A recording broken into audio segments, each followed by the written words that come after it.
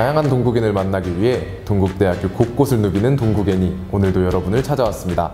네 안녕하세요. 저는 아나운서 홍석인입니다. 오늘 만나볼 분은 동국대학교 하면 가장 먼저 떠오르는 캐릭터 제가 딱히 말씀 안 드려도 여러분 머릿속에 이미 다 떠오르셨을 것 같은데요. 바로 그 아코 캐릭터를 만드신 원예림 하부님입니다. 자기소개 한 번만 부탁드릴게요.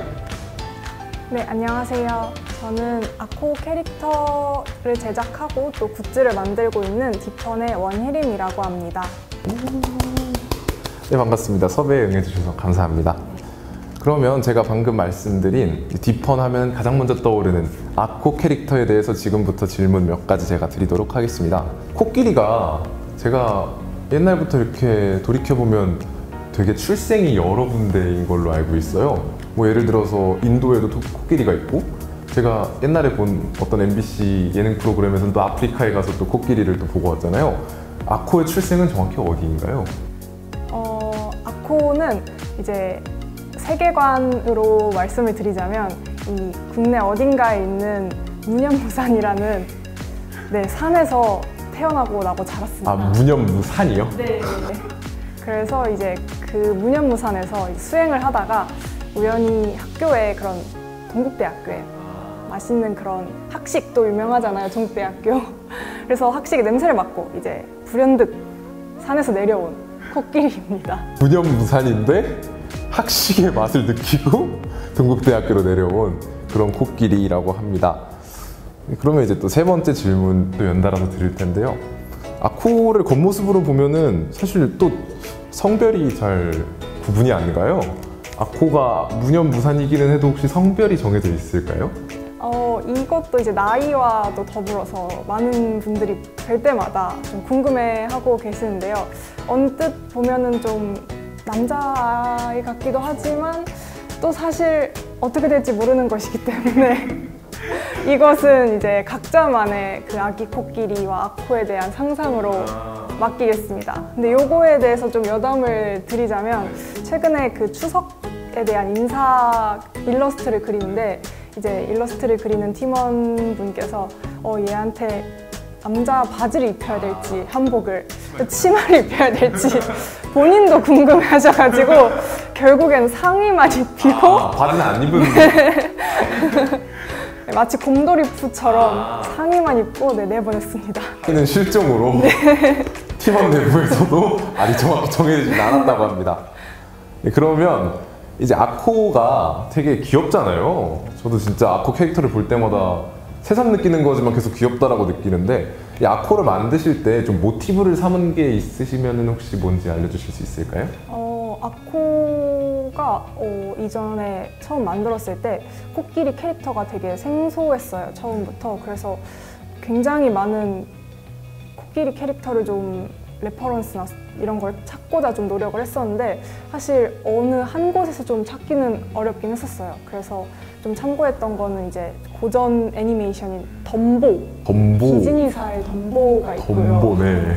그리고 그 당시에 이제 조금씩 유명해지고 있는 그 맥주 에도 코끼리가 있거든요. 네. 그래서 그렇게도 또 참고를 하고 되게 또 다양한 곳에서 이렇게 포인트를 따왔는데 이 아코의 그 하트 모양 귀는 그래도 저희가 약간 사랑을 담아서 거의 자체적으로 창작을 했던 부분이라고 네, 좀 자부를 하고 싶습니다.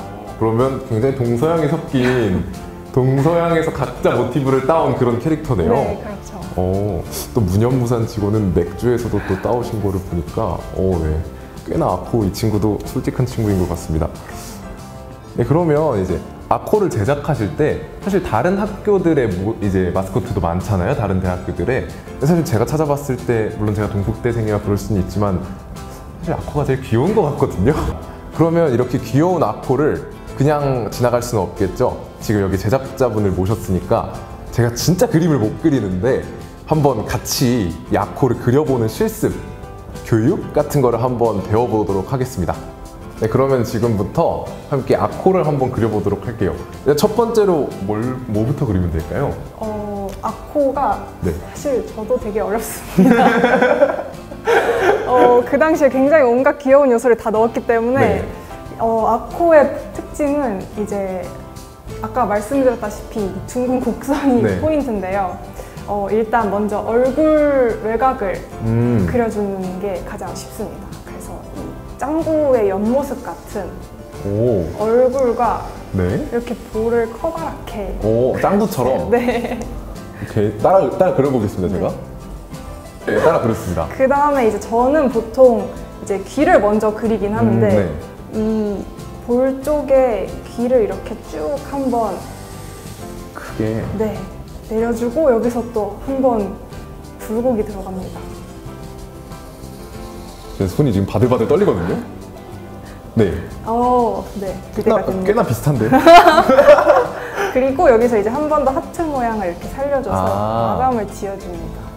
눈알을 채워줘야겠죠. 아, 나머지 누나를.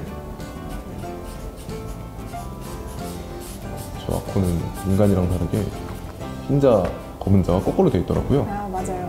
생기를 주기 위해 네. 반짝이를 오, 포인트로. 또 색칠 한번 해보겠습니다. 나머지 눈도 같은 방향으로. 시청자분들이 좀 이따 보- 보시겠지만, 어, 좀 큰일 났어요. 네, 일단.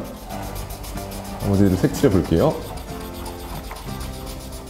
이게 뭐지? 되게 흰둥이가 돼가는 것 같아요, 점점.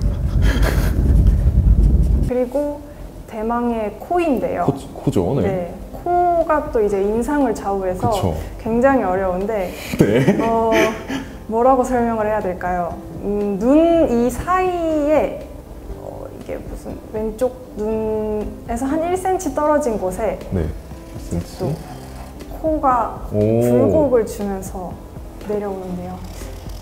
네. 외곽도 일치참. 그리고 이제 또 코도 하트 모양이거든요. 어, 코가 하트였구나. 하트의 끝을 마무리 짓지 않는 뾰족한 부분은 없는 아하, 네. 그리고 마지막 귀 안쪽을 장식을 해주는데요.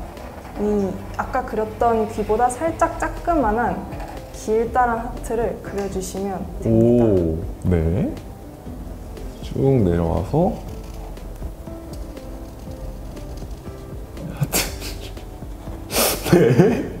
오, 거의 흡사해요. 그러면 이제 여기는 이제 귀 안쪽은 색칠을 하기도 하고 안 네. 하기도 하는데 네. 네. 그렇게 좀 자유롭게 네. 두시면 됩니다. 이번에 생략하고 네, 그러면 이게 마무리인가요? 네 완성입니다. 생각보다 간단하죠? 어 그러게요. 여러분들도 방금 이제 혜림님께서 말씀해주신 그 방법 그대로 한번 따라해 보시면 저 같은 이 일명 똥손만 아니면 충분히 따라 그리실 수 있을 것 같습니다. 한번 비교해 볼까요? 카메라에 대고. 아, 제 아코가 약간 지옥에서 온 아코 같은 느낌이거든요. 굉장히 네 저는 똥손이라고 생각하지 않습니다. 굉장히 잘 따라 그리신 것 같아요. 내년에 디펀 아티스트로 뵙도록 하겠습니다. 여기 약간 이렇게 머리카락처럼 이렇게 약간 음. 힙하고 아, 약간- 갈고리 머리 같은 레게 머리 같은 느낌. 느낌이 드네요. 네. 이런 느낌으로 가운데도 한번 이런 식으로 비- 많은 악플이 달릴 것 같은 느낌이긴 한데요. 네, 이런 식으로 아코를 그리시면 될 것 같습니다. 네, 오늘 이렇게 아코를 만드신 디펀의 원예림 학우님과 인터뷰를 지속적으로 나눠보았습니다. 사실 많은 분들이 이제 아코에 대해 너무 귀여워하시고 되게 궁금해하시는 분들이 많으셨을 거고 저도 마찬가지였는데 오늘의 인터뷰로 조금은 해소가 됐었으면 좋겠습니다. 다음에도 이렇게 재미있고 유익한 인터뷰로 다시 찾아뵙도록 하겠습니다. 지금까지 종국엔이었습니다. 안녕!